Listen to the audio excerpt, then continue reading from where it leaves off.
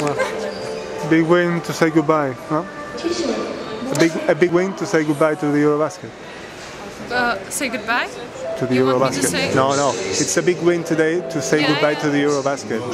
Uh, I don't think so. Uh, we wanted to win. You know, we we could like win about 33 points. We uh, we really want to win, but but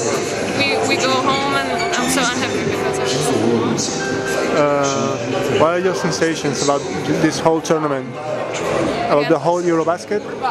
Um, can you analyze the whole Eurobasket for the Czech Republic? If I don't understand the question. Analyze the whole Eurobasket tournament for the Czech Republic this year. I don't understand.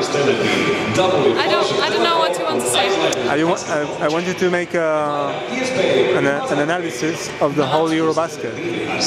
Whole Eurobasket? The whole Eurobasket for You mean this a global tournament? vision of this tournament for Czech Republic. Yeah, um, I think uh, we we should uh, should uh, win more games before, like not only with Ukraine but with Slovakia too.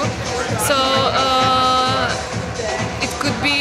be better for us to uh, to other fights here.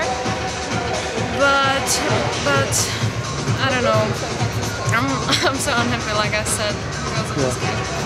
And now it's time to think to think uh, next year's World Championship in Czech Republic. Huh?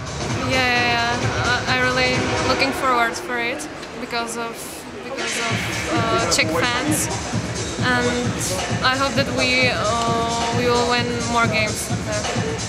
Thank you very much.